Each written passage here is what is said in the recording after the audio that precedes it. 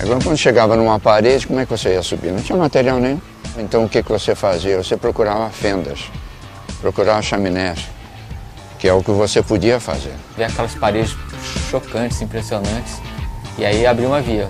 E aí o próximo passo foi fazer essas vias sem usar os grampos. Eu me lembro que naquela época a via mais difícil era um 8C, que era o Andrômeda, lá na Chacrinha. E aí surgiu o Urubu, com várias vias de 8C, via de nono grau. A escalada é um esporte seguro. Agora, o perigo, quem vai definir o perigo vai ser o escalador.